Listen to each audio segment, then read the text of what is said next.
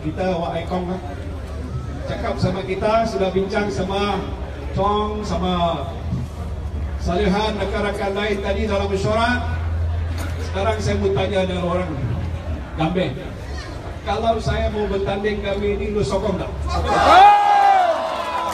pada cukup kuat atas dengar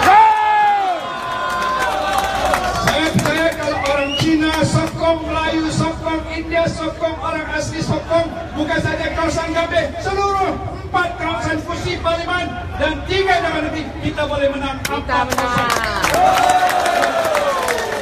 Boleh, saya tahu saya juga sudah pernah jadi menteri besar Sehingga projek-projek meskipun kau kasih duit buat untuk sekolah buat apa semua sekali betul tak?